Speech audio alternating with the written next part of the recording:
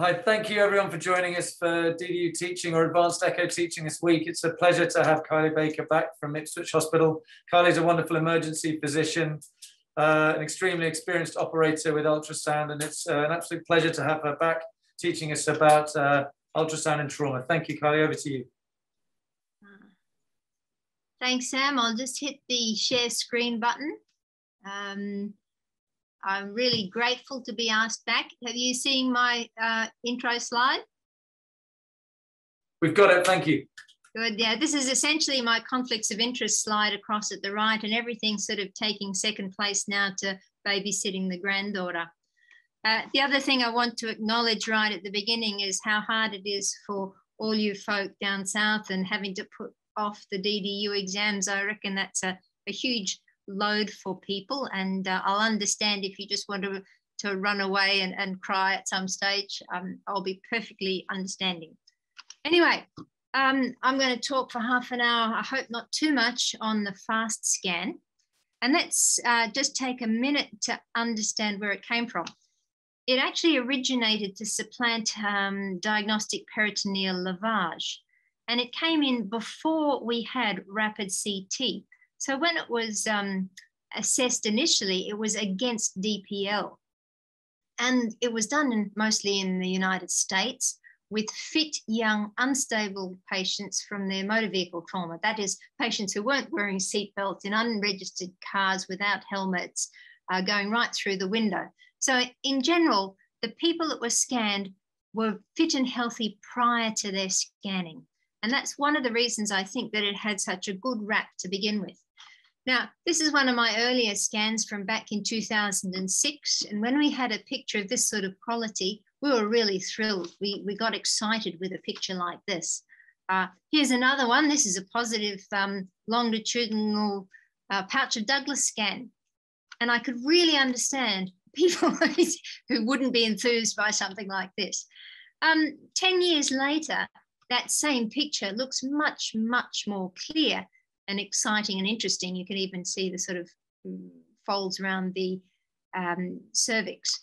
But why bother when you can get such a marvelous um, sort of high res CT scan in only um, a very few minutes? Well, um, there has been a fairly recent Cochrane review on the usefulness of point of care ultrasound or EFAST scanning. And um, it's a nice and fair review, I think. And essentially, the conclusion is that EFAST is not really recommended in every patient. Uh, the review does say that it is really a good second line study in places where you can't get a rapid CT. So they're talking about mass casualty situations, um, uh, places with decreased resources. More importantly, uh, I think they say that it's even less use in children. Um, in adults, you have a fair specificity, but not such a good sensitivity. So you can't rule out free fluid. And of course, that's what we want to do. In children, you can't rule out or rule in because they normally have a little bit of free fluid in the pelvis. So technically, I'm not really going to be reaching for my ultrasound probe in your average um, run of the mill garden type trauma. The one thing I think that bears um, tribute, though, in this um, Cochrane review is that although the abdominal portion of the EFAST is not terribly sensitive and specific, the um, thorax, the chest views for pneumothorax or hemothorax, have specificities and sensitivities in the high 90s. And so, although it has the usual caveat of further research is required, um, it may still be um, very valuable to do the chest portion of the EFAST scan in a multi-trauma. Anyway, um, why do we teach it then when it's really so um, such a little um, output? And I think, at least in our place here, where we were on trauma bypass for a while, we use it a lot for off-label indications, and that's specifically early pregnancy. I mean, Steph's scored a couple of ruptured ectopics on the night shift. And that is, I think, our biggest value for money for an EFAST scan. Um, it certainly adjusts our paracentesis and pleurocentesis positions, and even sometimes when we attempt it. Um, you can use it to look for things, complications post-surgery, collections, ruptures, um, and that's not technically what an EFAST should be for, but I think we certainly get some good value from it then. Now, some people have thought about using it for risk stratification on low risk patients. And my view of this is that if it's something that makes you do serial abdominal exams, it makes you go back and actually see the patient, actually lay a hand on the patient, then yes, it's a value and I'm going to support it. Anyway, I think you need to know fast scans for um, the DDU. So I'm going to look through the classical teaching and show you what the windows are and where we're looking for the fluid. And then I want to get into some of the subtleties and about it. I've got half a dozen cases, and if we don't get through the last one, it's no great tragedy. The other thing about um, doing a fast scan is, is it's an introduction to the windows to the abdomen. In other words, where we put the scan, we're looking for free fluid, is a place where there is not usually much gas. It's a place where there's often a sort of a nice um, bit of liver or a bit of bladder that we can look through. And when we do say the right upper quadrant, you have to be able to identify liver, gallbladder, IVC, right kidney. When you do the left upper quadrant, you have to be able to identify spleen, uh, jejunum, can't see what else is under there. Um, and when you look down in the suprapubic view, you have to be able to recognize bladder, rectum, uterus, fetus, ileum, colon. And so even though they're not part of your fast scan, you become very familiar with these in fit normal people just by doing your EFAST scan. Now in trauma, um, it did start off as a fast, which was purely abdominal, and then they added the subcostal view for um, uh, pericardial effusion, and then they added the lung views, high point and low point which um, uh, why we call it E-fast, extended fast. So the right upper quadrant view is the first view we tend to look for. And if you're able to include the right lung base in the same picture, that's really handy. It's no shame, however, having to get two separate pictures. We do the left upper quadrant and it looks almost the same. Liver and spleen, very similar, and right kidney, left kidney, very similar. This is why labeling is important. We do the suprapubic view and we have to do two suprapubic views, transverse and long. The reason being that the midline, the bladder um, sits on top of the rectum or the uterus and the peritoneum reflects. And so part of the bladder is retroperitoneal. And what this means is fluid tends to track sideways down into the adnexa right and left. So that's where we have to look. It's not a matter of looking directly behind the bladder. We want to look at the highest point of the right lung. Now, something that we all automatically do is we go and put the probe in the lung apex because that's the lung apex. But if you think about it, these are trauma patients, so they'll be lying supine. So the highest point of the lung is actually going to be parasternal, as low as you can go right, uh, right next to the sternum. Um, do the same on the left side and of course the cardiac view. I'm not going to even touch the cardiac views because you guys can do them in your sleep right or left-handed upside down. But I'm going to look at the first five views. Any questions so far or comments? No, I think you're doing a great job. Keep crack on. Okay, so our classic right upper quadrant view is this. We want the mid-grey liver, we want the nice mid-grey kidney, excuse the little renal cyst there. And if you can possibly get a tiny bit of this diaphragmatic um, angle at the on the screen left, that is really good. Now the places we're looking for the fluid is uh, in a shape like this. We're looking for a bit above the liver or superficial to the liver we really have to look at the lowermost tip of the liver and we look about three quarters of the way along the kidney. It's important to realize that free fluid doesn't track to the upper pole or the lower pole of the kidney because that lies under a mesentery. More on that later. And of course, there, at the bottom left-hand corner, that's where we're looking for our hemothorax. Now, the, the left upper quadrant looks fairly similar, but the view will almost always be a little bit more posterior and a little bit more superior. And in this one, although the picture looks the same, the peritoneal reflections are a little bit different. So in this particular view, what we actually want is to spend a bit more time looking superior to the spleen, between the spleen and the diaphragm, much more time focusing on the lower pole of the spleen, and less time diving in between the spleen and the kidney, because, uh, because the peritoneal reflections fluid does not tend to track right down between the spleen and the kidney ever so near so much. Now, with the suprapubic views, we need two. And um, we're actually going to be wanting to look to the sides of them, not directly deep to them. Directly deep, we're going to have seminal vesicles in a male, uh, cervix or vaginal stripe in a female, and then that, that hyperechoic curve in the middle of the screen, sort of three quarters of the way down, is the rectal gas shadow. When we turn longitudinally to do the suprapubic view, it's the same sort of thing. Remember, part of the bladder is retroperitoneal. So fluid only collects in these sorts of areas above the or to the left of the um, green line. So our lung views. Now, in the old days, we put the M mode on, and the M mode, as you know, to, to um, demonstrate that there was more movement underneath the pleural line to above. And if you don't have much storage space on your machine, that's still a good way to go. But there's a lot of false negatives and false positives you can get on M mode. So if you can possibly save a clip, that's actually better. Now, I'm going to go through a lot of pictures to, because, you know, how useful pictures are. And we're going to start with the ideal case. Young chap assaulted with a baseball bat.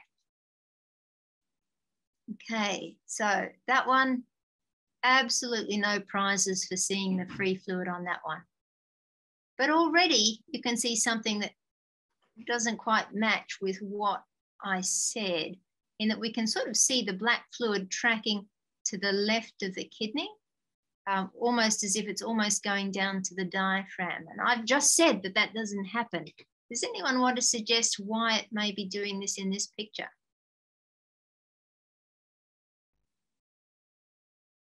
It's a bit of a nasty question, but I can nominate if you want.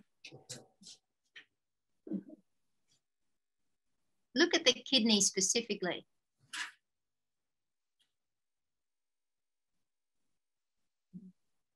So what's happening here is that people are turning the probe, um, what's the word, um, to slice through the kidney in transverse rather than the kidney in long.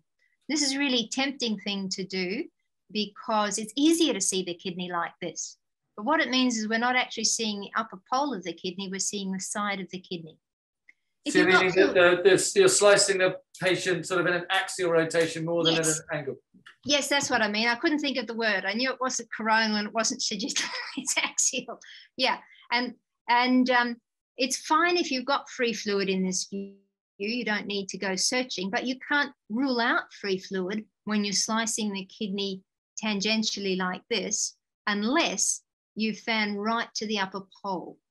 So the reason we know this is somewhat axial is that the pulmonary hilum is sort of diving off to the screen right underneath the um, bowel gas. And so that makes you a little bit suspicious that this may actually be a tangential view rather than longitudinal.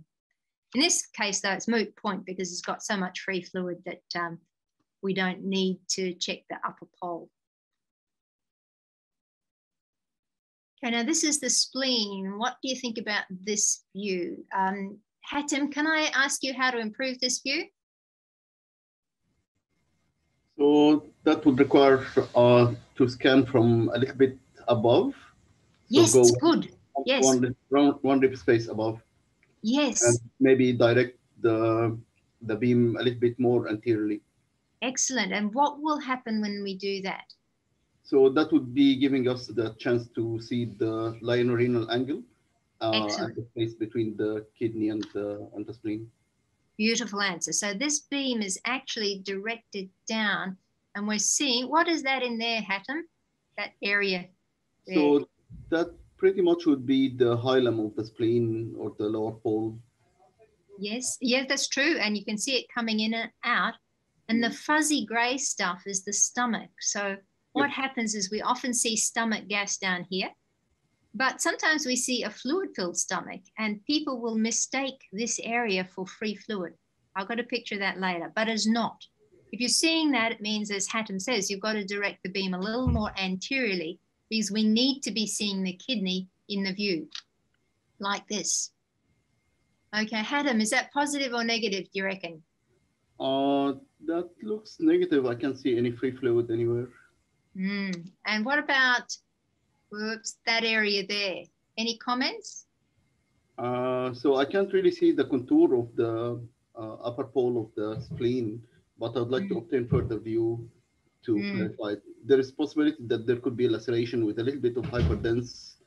Yes. Uh, so I would like to confirm with different view, but there is no free fluid that I can identify. Mm. Now, I'm not sure, and I was saying to Sam that uh, my image quality might not be good enough to go over the net. I'm suspecting there's a tiny, tiny whisker of free fluid at the lower pole of the spleen. But what you did right, that's a splenic laceration. And anything where the spleen loses its even, even echo texture and becomes um, an odd outline, and same thing with kidneys, is a real um, marker for um, solid organ damage. Now, of course, an EFAST is not meant to do solid organ damage, but occasionally you'll come across it and you need to know what to think. Uh, can I ask a quick question about the machine that you're using here? Is this a big high-end machine or is this like the no. Venue R2, the point of care one? Yes, this is a point of care one. It's as good That's as awesome. I'm allowed. Nice pictures, aren't they? Sorry? Nice pictures. I'm only showing you the skinny patients yet. you wait. Now, uh, longitudinally, what do you think about this one? Who else have we got here? Uh, just Hatem. Oh, who's, yep. who's on so, fire? Okay. Anyway. Jamal is with us as well. Uh, Jamal is doing the critical care DDU. He's an anaesthetist, a very experienced anaesthetist. But Jamal, do, do you, have you done a lot of general ultrasound? Uh, I'm I, am I'm, I'm tucked away in theatre today, just trying to. I, I don't do a lot of e-fast. No, I need to, but I don't. So. Are we able to ask you questions, or are you stuck in theatre with patients? Are you okay to talk? Uh, the second one, I'm afraid. Uh, no problem. No problem. Okay, okay. So it looks like it's a pelvic uh, free fluid just on the left side of the of the urinary bladder. Excellent, Hatem, perfect. And that's the bladder there. Now, why is the free fluid not black? Uh, because likely that there will be some blood associated with it as well. So Excellent. And you can see how the blood is precipitating um, down with gravity. And so that we tend to see this gradation of cells. Excellent. Now, fanning through the bladder in transverse looks a bit weird. Um, the bladder is that dark bit there. The prostate's immediately below it and the rectal gas shadow below that. So no free fluid down there at all. But there is the sort of the um, big ears up the top right and top left, which are the free fluid over the top of the bladder. And again, here is the free fluid. You actually see the blood swirling there. And what do you reckon that white hyperechoic arc right in the middle of the screen is? That would be the rectum. Beautiful. Excellent. I had him. I'm going to have to start asking Steph. You got all the answers right. Uh, full on. Anyway, you've got, you've got me and you've got Louise here as well. You can hassle us. Uh, yeah, I don't want to show Louise you. Louise is doing a DDU next year. Okay, Louise, you're fair game then. Absolutely. Um, so the most important take-home messages from this very straightforward case is that not all fresh blood is black. Well, you guys know that from echo. Cells layer out. Um, the bladder is partly retroperitoneal, so you need to be looking to the sides and the top, not underneath the bladder. And be wary of the position of the stomach because just about everyone mistakes um, a full stomach for free fluid at some stage in their life, even my friends, the sonographers. I did put in a couple of bonus pictures of ruptured spleens. Just as a um, reference point, your spleen should be roughly the same size as the kidney. So when the spleen looks like double the size of the kidney, you need to be asking why. And when it appears to have layers like this, um, this is actually a spontaneous rupture of the spleen, atraumatic, and it's basically bled gradually out and out, expanding the capsule. Okay, now that was the easy one. Going to get for a harder one now to look at where tiny bits of fluid collects. This is a young man with right upper quadrant pain. He got assaulted three days before uh, with kicks and punches to his abdomen. He's a pretty tough fellow with, um, uh, you'll see, really good abdominal musculature. He's had worsening abdominal pain, but particularly in the right upper quadrant overnight. And he's hemodynamically stable for the four hours he spent on our ramp area, but his abdomen is tense and guarded. So, uh, lung. Louise, any comments on the lung? Is the image good enough to see? We're looking obviously for a pneumothorax here. We can see the rib shadows and looking between the ribs, I can't see any sliding and I can see A line. So there is quite likely to be a pneumothorax. Oh no, that means I haven't got good enough image quality. Uh, I was afraid of that. Um, you got to peer at it very closely, but I can see sliding on my screen, but if you can't, then that's my problem. It's coming through pretty pretty slow this end, I'm afraid. No, the frame rate's down a bit. Sorry.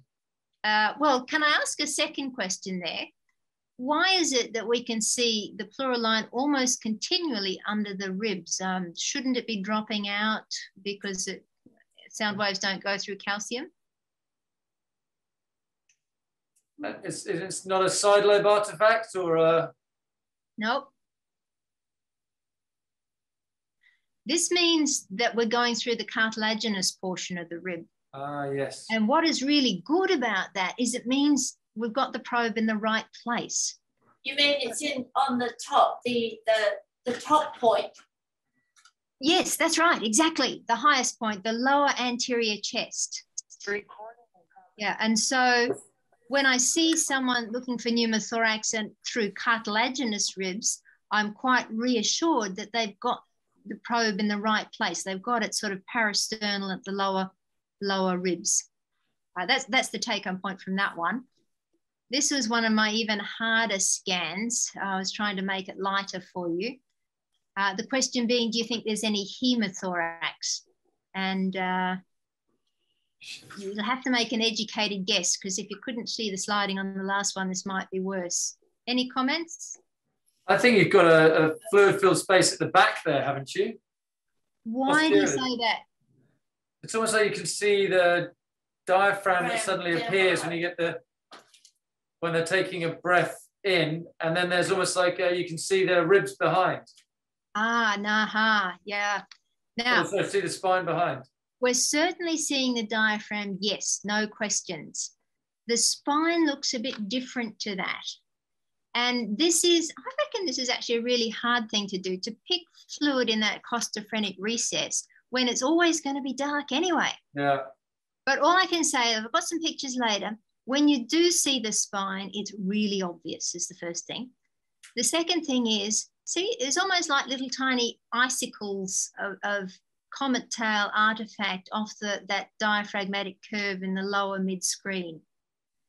That's an indication of air in there, not fluid. So when you do get um, fluid there, that curve of the diaphragm becomes really sharp and clean rather than uh, dribbly like this. But I've got some pictures of that later for you. So we did or didn't see this the spine. We didn't We did. Okay, now this is another one you may have to peer very closely. This is the left upper, uh, left lower anterior chest. Again, we've got cartilaginous ribs. Hi, Lewis, can you see any sliding there? Hi, Carly. I not really. I mean, you can see A lines. God damn, that means And- my images aren't good enough. They're pretty. They're pretty slow. Um, but uh, but I can definitely see A lines, and I think I can see a B line cutting through some of the A lines at the right hand side of the screen. Oh, well, if you've got a B line, we can say no pneumothorax. Yeah. Um, yeah. Now this is. I, I thought this might be an issue with the sliding. Shouldn't be such a problem with the others.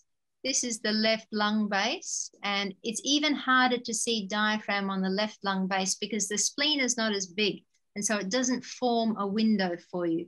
So you've really got to hold your mouth in the right place to see the diaphragmatic curve on this view. All right, let's start with the money shots now because he's kicked in the abdomen. What do you reckon about this? Positive or negative? Negative. Mm-hmm. Any others? I'd like to see the liver tip all the way down. Yeah. In actual fact, we've got a Looks like tiny, it's- tiny Oh. bit of fluid, really little at the end of the liver tip on the far screen right. Nice. Yeah, not nice. Scary, scary. Um, Kylie, anything on the uh, upper pole of the kidney? Yes. uh, no, nothing on the upper pole of the kidney. This is it a little bit more closely, sort of. Can you see it there yet, Sam? Is that good Got enough? it. Got it. Yeah. Yeah, tiny, isn't it? Tiny. makes it a positive fast. Um, let's look at the spleen. Um, remember, it's the lower pole of the spleen where the, the fluid first goes.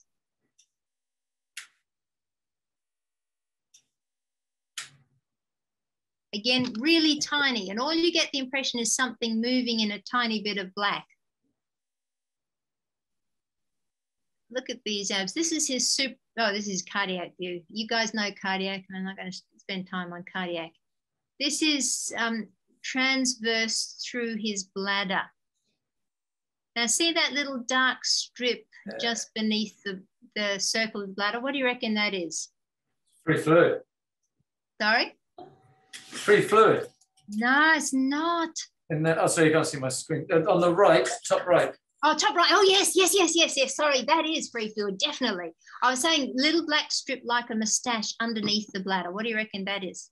It's a. Ah, excuse me. Oh, poo. Well, the poo's the white bit underneath. Yeah, the black bit is the seminal vesicles. Oh, So uh, you mustn't mistake that little sort of black shaped moustache or bow tie sitting under the bladder because, like I said earlier, Lewis, I think you missed this. Uh, the base of the bladder is retroperitoneal, so free fluid doesn't go down there. But Sam, you're dead right. That's free fluid in the top screen right. Uh, and longitudinally, so this is the midline bladder. You really have to have an eye of faith on that one. But when you scan a little bit to the side, you can just see a little bit more there. Yes. Yeah. So this is him. Do you reckon you'd have picked that? She's small, isn't it? Yeah, yeah. It turns out that it, when he went to theatre, this was bile. So he'd actually ruptured gallbladder from the, um, from the assault. Hmm. Anyway, uh, the reason It's I not wanted- a. I Yeah. was just going to say it's not a huge amount of free fluid um, there on the CT though, so that's um, a good pickup by ultrasound. Yeah, absolutely. Yeah, and I wanted you to see what a really barely positive one looked like. Um, yeah, but he was a thin young man. It actually wasn't so hard when you're right there. And the gallbladder wall was thick too. Um, anyway, now um, oh, I've got to keep an eye on the time. This is a young man who walked in after a car accident, single vehicle. He drove into a tree. He got out. He went home, but he was a bit sore, so he came into hospital nurse took a look at him and gave him a chest x-ray form and said, um, walk around the x-ray and when you come back, show us the picture. Had a bit of right-sided chest pain. Um, Lewis, can you comment on the chest x-ray?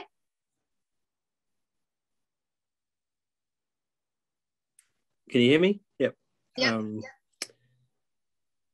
so it looks like a, as you probably hoped, a um, uh, relatively normal looking chest x-ray. I can't see any significant uh, pneumothorax there. Um, I don't know The- This, this is clearly. the right side, the apex looks a little bit, um, a little bit uh, hypodense. So I, I probably want to see that a little bit closer than my thumbnail. But um, there's no, there's no large pneumothorax. Mm-hmm. Good. Anything else?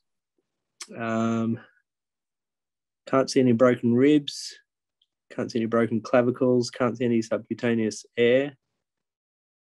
Um, mediastinum looks normal. I see that. So I'm going to say no. It looks pretty normal um, from a thumbnail. Yep, good. Now, um, uh, just please forgive me. I was looking for some of my pictures that were cardiology orientation, but this is an old case, so it's the other. If someone's using a curvilinear probe, I think you can probably assume that they're using general sonography orientation, meaning that the patient head will be to the screen right or the patient lungs. If people are using a um, cardiac probe, I think you might like to assume that the patient's head is to the screen right and the, um, their breathing, the respiration goes from right to left. But these are the four views that we use sort of traditionally um, one, two, three, and four. Everyone disagrees on what we call them. Um, so I won't even try. I'll just talk about high point and low point. Now this is his good lung. I always like to have a little bit of heart in it, but I took them as stills because it costs less in terms of um, uh, storage space. Take my word for it, that was normal. But we're going to look at the, the bad side now, the right side. He's got a little bit of chest pain here. So uh, first view, Hatem, this is the right apex. Okay, so there are A lines, it's uh, uh, seashore sign is lost here. So this means that there is no lung sliding. Excellent. Does that mean there's a pneumothorax? Uh, no, it's not 100% pathognomonic. So... Beautiful answer, beautiful answer. It's likely, but there are other things that can cause this. Okay, what about that one? So that's, that's a seashore sign. Yeah. And that means that there's lung sliding in this area. Yes, good. What about that? This is in the armpit, essentially mid-axillary line high in the axilla. So there are few B lines that I can identify, which means that definitely there is no pneumothorax there. Uh, and why would he be having B lines? Uh, so it could be for many, many different things. It could be some fluid overload, could be consolidation. So Specifically in this case, the most mm-hmm. likely cause? Oh, and here's the lung base too. Um, so specifically in this case, with his context, uh, whether he received any fluid restoration, whether there's any aspiration that happened at any stage. Okay, well, hold that thought, hold that thought. Now, obviously the next thing to do is get a CT scan, but if you can't, for resource reasons, what we can do is double down to the linear probe. This is medial. And I suppose if you're having trouble with the thumbnails, you won't see, but there's no sliding medially. Laterally, um, we've got definite sliding and some B lines coming in there, I think. Is that right? Yes. Yep. And this is when you connect the two, when you slide in the rib space between the pneumothorax on the screen left and the B lines on the screen right, we've got the lung point. Is anyone can't see the lung point? No, it's good. It's good? Yeah. Okay. So, whoops, trying to click forward. This is his CT scan. Mm. Essentially a small anterior pneumothorax, a nice contusion, which was the word I was looking for yep. uh, posteriorly, and no free fluid. And we actually, I meant to point it out, but there was no free fluid in the costophrenic reason cost-effective By the way, Carly, the chest X-ray was actually showing uh, uh, pneumothorax. It was, I know, but poor old yeah. Lewis has just got a small screen and um, uh, it, and honestly, only about fifty percent of people see that pneumothorax. Yeah, sorry, I'm on I'm on my phone, but um. That's, that's uh, marvelous uh, dedication, Lewis. um, I said there's no big pneumothorax. Um, and, and you did the, say it was hypoechoic, so you were on the mark the CT showed some pneumatoceles there. Did you um, did you notice anything on ultrasound? Uh, no, I didn't at the time. It was mm. several years back, I'm afraid. um, I don't even know what happened in the end. Um, the learning points from this, the things that are important to remember, is that even if you do pick a pneumothorax, you won't know how deep it is. You won't know if it's two millimeters or two centimeters or 20 centimeters um, because it all looks the same. You can plot the surface area, but uh, why bother if you're going to get a CT? Um, and if you do have a complete pneumothorax, meaning there's no point, no lung point, no B lines anywhere, I think the next thing to do is to immediately check the heart function, the venous return, rather than send him to CT. Uh, just for those people who need a refresher, pneumothorax on the screen right, lung sliding on the screen left. Very subtle. Um, people who say to me, I only do lung scanning for pneumothorax, it really scares me because to me, that's actually the hardest and most subtle of the signs um, with the most uh, traps for new players. Now this one, Hatem, what do you think this is? It's lung or it's chest wall anyway. Chest wall, it's not deep enough. It's just up to 3.5 centimeter. Uh, Uh, that's, I can't really clearly see a rib shadow out of that, but looks like it's just one intercostal space that's being scanned and intermittently getting one rib on top and one rib below. Um, I can't see any A lines. Pre- Probably there is one big A line.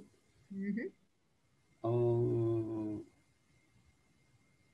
So this is subcutaneous emphysema. yes. And it's a That is damn real. nuisance because you get it in people with rib fractures and pneumothoraces. And what it Mhm. means is that you then can't see down to the lungs. But Yes. People do talk about milking it out of the way, and sometimes you can do that. But you're dead right when you said you're looking for the lung, or the ribs, and because you pick your subcutaneous emphysema by finding the ribs, whether it's above or below. Yep. But it, yeah. Sorry, Hatem, what?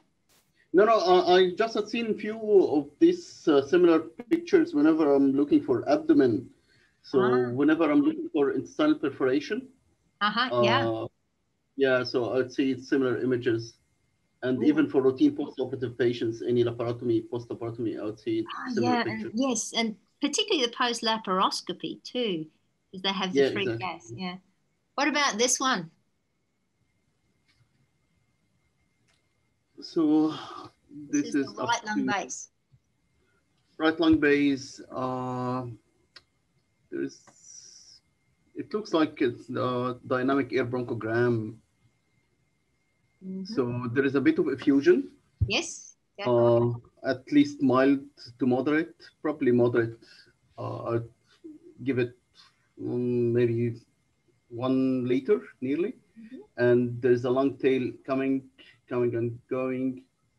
I think it's mainly looks like lung atelectasis rather than uh, Mm. consolidation. Okay. Now, this is where I think it's really important to figure which is the patient head in. This is a Yes. curvilinear probe, so we're probably using general sonography where the patient's head will be to screen left, which means that shouldn't be lung on the right side of the screen. Lung should be coming, respiration should be originating on our screen left. Yes, but yeah, it depends on which probe you're using, which probe orientation you're having. Mm. And um, again, this is something probably lost in the translation, but that edge of white on the right is not actually sliding. There's no movement to it at all. Oh, yeah. Yeah, So, this this is yeah, a it like Again, another. Yeah, yeah. This is a, a lung, um, a hydro point they call it. Mm -hmm. Yeah, yeah. But sorry, I've got to maybe got to use the DICOM images. I think. Um, this one, Sam. What's odd about these pictures? Apart from the fact they're very poor gecko pictures.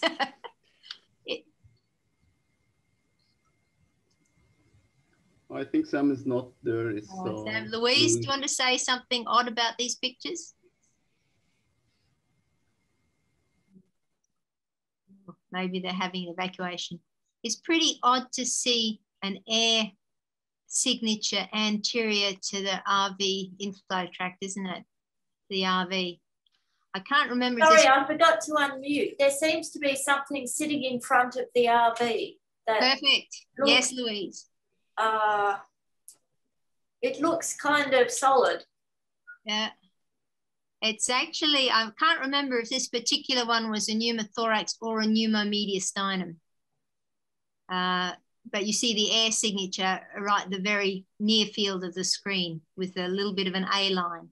It appears to have movement to it, so that's very, um, the word deceptive. But I do know the patient had the abnormalities. Okay, I better keep moving. A 10-year-old boy with a handlebar to the right upper quadrant, stoic child, normal observation. So he got sent to our ambulatory care where our trainee was doing some practice scans. Um, the lungs, I think, will slip through the lungs, sliding on the left. On the right here, do you reckon that's a lung point?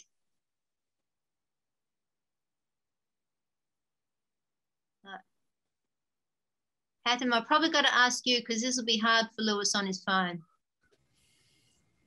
So it looks like the rest of the lung is actually sliding. Yeah. So I won't uh, think that this would be a lung point as such. Uh, there are A lines in the part of the lung that we can see here, but Yeah. probably there could be uh, What do you think that is on the screen right? Bearing in mind this is the left lower anterior chest. What's on the screen right? on the screen right. Uh, so on the screen right, yeah. So that's the apical part of the left lung. That looks like Oh. L1. Mhm. You shouldn't have labeled it apical, sorry. Okay, sorry. So that's L2. Yes, Okay, so that's just the heart coming. Uh, yes, perfect. A lot of people mistake the anterior border of the lung where it goes across the heart as a lung point. Um, this is a, one of those traps for new players. Um, pneumothorax should be white into white, not white into dark. Oh, don't worry about the heart. You guys know that. Okay. Um, this will be a bigger picture. Free fluid, yes or no? Louise? Sorry, unmuting. Uh, the, oh, no, hang on, what? No, Yeah. yes, it is free fluid Excellent. Good. above the kidney. Yes, exactly. Um, this is the spleen. No, I can't see anything there. Very grey. Okay, now this is the pelvis of this child. What do you think? Um, this is a good big one for you, Lewis.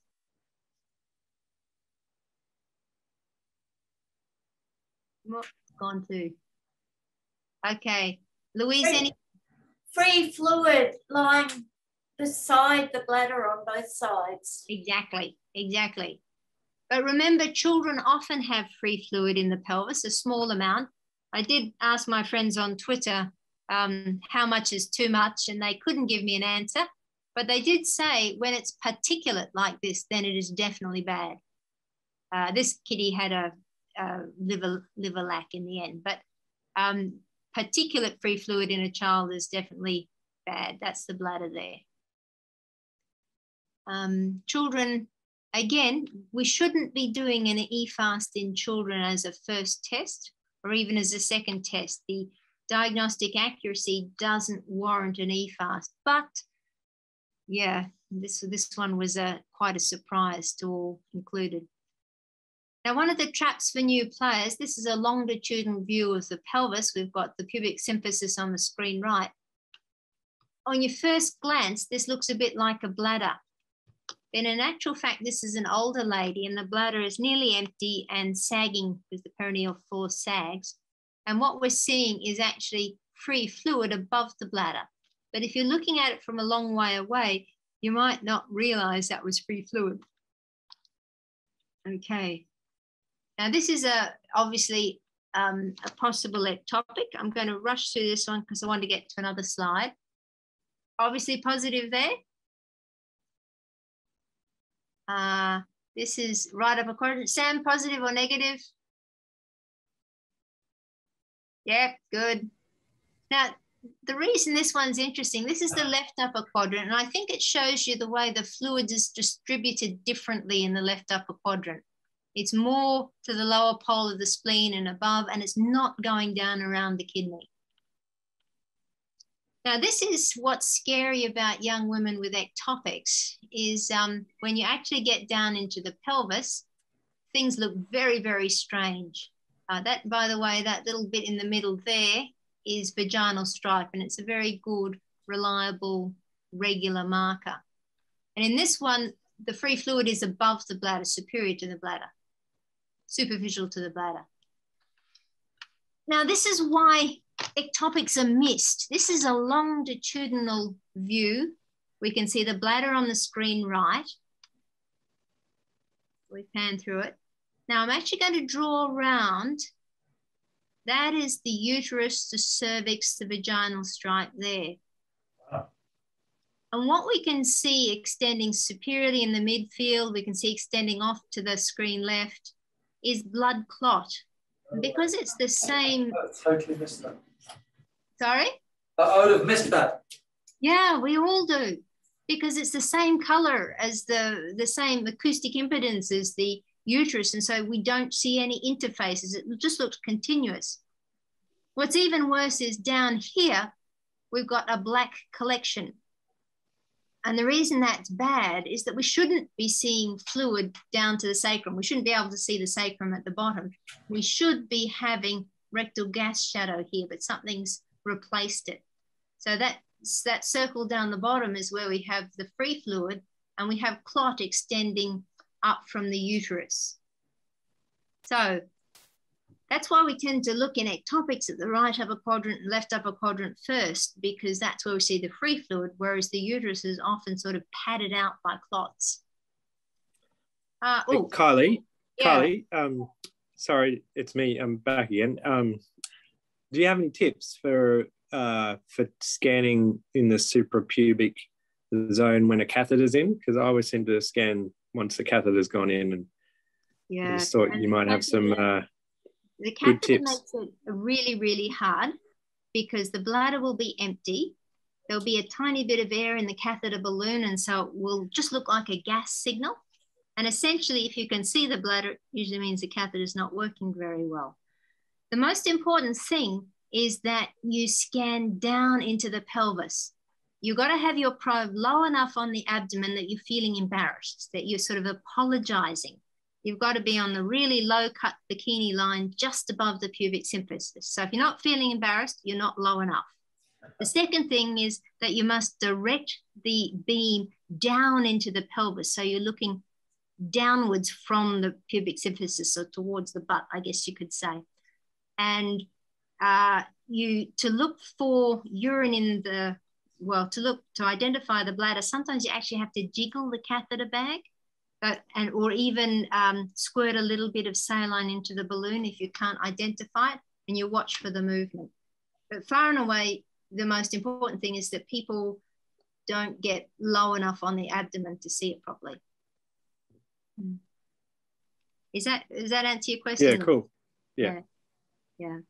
And it's the same with the longitudinal view. You set the lower edge of the probe on the pubic symphysis, but then you direct the beam um, caudally, really caudally um, into the pelvis. Anyway, young man from a high velocity MVA. Um, I won't go through the lungs because you're having a hard time seeing them. But what do you think about that M mode there of his right lung? Is that seashore or Shelley Beach? Or, or barcode? Barcode. Yeah, probably. Barcode. Yes, I think so. But with the patient with who's dyspneic, it becomes quite difficult because we can have movement artifact in the intercostal muscles. But you're right, it's barcode. This is his right lung base. Sam, um, we were talking about the spine sign. Yeah. yeah. See how the spine's a lot more distinct? Yeah. Yeah. Now we do have those uh, B lines coming off the diaphragm. So that's actually where the lung tissue is. But this fellow has a small hemothorax. Nice. Thank you. Okay, now this is, what's this sign here on the MO just for, uh, just for exam references? What do you call this sign? Hatem? Barcode. Uh, that's a barcode or stamp. No. Uh, troposphere. It's not a genuine barcode. You might have to peer at this closely. Oh. Uh, Lung pulse. Yes, that's it. Louise got it. The mm. regular beating. Now, it doesn't mean he's ventilating that lung. It just means that lung's not collapsed. So you could have a right main stem intubation and still get lung pulse. Uh, now, I did mention how the stomach can, when it's full of fluid, can look like free fluid. And that's what we've got on the screen right here. We're actually looking at the diaphragm at the time, but it shows up on the screen right. Um, this is, I couldn't find his kidney, but um, even though we've missed the kidney and accidentally got the gallbladder, Sam, do you think this is a positive or negative left upper quadrant? I think that's positive. I Yeah, think there's free fluid you can see just outside of that gallbladder wall. Yes, and outlining the liver tip. Okay, what about Yeah. the picture on the screen right now? That's a better view, but it's a bit weird, isn't it? What do you think of that one? Yes, good. I think that's positive. That that looks like fluid around the upper. part. Oh no, you shouldn't. You said that you shouldn't be able to see free fluid there. 'Cause Yes. that- so Yes. that, that's a normal one. No, but Ah, the trap for new players. That is retroperitoneal fluid. oh, excuse me, excuse me, excuse me. Yeah, Okay. yeah. Now this chap actually had, I think, a chance fracture, and you can see on the CT that sort of most of his blood was actually retroperitoneal. But um, I, this is a fantastic little uh, diagram from Radiopaedia. We, we talk about the abdominal cavity, and we mostly think about that top uh, cavity in the picture, but we actually have about three other layers of mesentery that can be split or dissected off with fluid. And depending on which cavity is um, being distended with fluid, gives you different patterns of the retroperitoneal fluid. So if you, for example, rupture your descending or ascending colon or your pancreas, you'll get tracking of the fluid uh, as in the picture here. If you get a ureter rupture because of obstruction, you'll get fluid that's contained directly just around the kidney. Yeah, yeah. Yeah. And if you get your aorta, aortic aneurysm fracture, it spreads differently. If we imagine Morison's pouch and longitudinal, like we're used to looking for, what I've been saying is that this black area here is where you see free fluid in the intraperitoneal uh, region. But if you see a perinephric abscess or a ruptured ureter, it will collect directly around the kidney like this. But if you see something in one of those other two um, uh, potential spaces, you'll see fluid in this sort of distribution. And in the old days, with those 2006 images, you would never recognize this pattern of fluid. It, you know, the images weren't good enough. But nowadays, we can see even tiny bits of fluid as, as you've seen.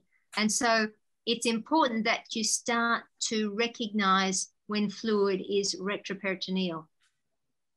Now here's, a, here's another one. This is just a tiny bit of fluid at the lower pole of the kidney. You see it, they're sitting on the psoas.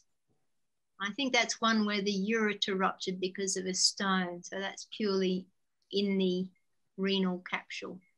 You got that one? Is that, can you see it? Yep. Mhm. So um, the things to know from that case is that the lung pulse excludes the pneumothorax, even though it doesn't mean you're necessarily ventilating your lung. Start to realize that there is a retroperitoneal compartment that we can see now that we've got better machines. Ah, and one thing I didn't point out, but I'm going to point out now, is that this is free gas in the abdomen. Looks for all the world like a pneumothorax. Um, now, a lot of people try and call free gas in the abdomen, but unless it's over the liver or the spleen, I find it very difficult. Um, because sometimes distended um, bowel gas can look very bright and shiny, just like this. But this particular bit of free gas, it never leaves the abdominal wall. And there's also a sign where you apply probe pressure directly down on the free gas and it moves apart like a curtain or a scissor sign. Um, but in general, I just find it very hard thing to pick unless I can see it above the liver, like in this case. And I think this chap, if I go back, had free gas. Um, no, not that one, not that one, not that one. Oh, where to go? Sorry, went too fast. Oh, I've missed it. Ah, ah, never mind. Okay, now we've only got five minutes left. I'm not sure if we've got time for this case. Um, Sam, what would you like to do? I'm afraid so. I'm going to have to go to another meeting in a couple of minutes. So maybe can we pull up stump zone to see if anyone's got any questions? Yeah, that's a good idea. Sorry, Kylie, thank No, you. no, no. No, this is a long case, and I didn't have a chance to time it, so I had no idea if we'd fit this in. Um, I think we've gone through the important bits. Yes, any questions? May I ask one quick question? Have you got any advice to when you're actually doing this? I sometimes find either I've been trying to lead a, a, a trauma scenario as well as doing the ultrasound. You know, can you just give us some advice on how you think we should be doing, uh, actually doing it in the in real life during the actual scenario? Yes, okay. Uh, first bit of advice is if you've got a really large patient, then I reckon you should use the cardiac probe, the phased array probe. It seems to have better penetrance and you're not worried about the near field ever so much. And it also gives you a nice wide view. So first tip, use cardiac probe if they're big. Second tip, the hardest view of all is the left upper quadrant because the spleen is small and the stomach is often big. So although you might find Morison's pouch fairly easily, it's a lot harder to find the left upper quadrant. So the advice here is wherever you were on the right side, when you translate to the left side, you're probably going to need to go further north and further to the bed. So move at least one rib space towards the head and at least one rib space towards the bed. And you keep going further to the head, further to bed until you hit the lung. So left upper quadrant, definitely the hardest. Um, the other thing is that when you have the really large patients, that's 99% of my population here, is that as you go move the probe further towards the bed, you have to compensate and direct the beam anteriorly. So you don't want to be slicing directly parallel to the bed as you move your knuckles to, to scrape the sheets. You want to be actually directing the beam back up to the midline, uh, back up to aiming for the spine, um, which is something people forget because they forget that the patients' internal organs are sort of round, even if their external body habitus is not. Um, that's my main suggestion. And, and make sure whether you know you're on retrospective or prospective clip save, of course. Um, anything else? That's perfect. Um, were there any other questions for Kylie? Thank you so much, Kylie. That's really amazing. Thank Yeah, it was a Yeah, really that was good. fantastic talk. Thank you. It was Yeah, great learning points, Kylie. things. Charlie. Thanks. Oh, good. I'm glad. Yeah. Uh, I, I'll happy to do it anytime, Sam. Anyway, Good. everyone have good exams. See you later, and please stay masked. And uh, I hope things. Absolutely. Kylie, thank you very, very much indeed. See you later. Bye bye. If you learnt something, hit like and subscribe to our channel for more videos uploaded weekly. For bite-sized versions, follow us on Twitter at Echo Nepean and check out the tutorials. or head over to our websites for the latest hands-on courses. Links in the channel banner. And thanks, for watching.